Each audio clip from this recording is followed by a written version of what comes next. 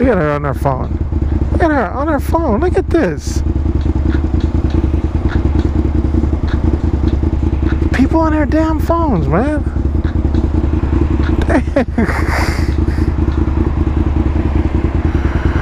oh man, I was gonna give her hell, man. I don't know where the sheriff's at right now.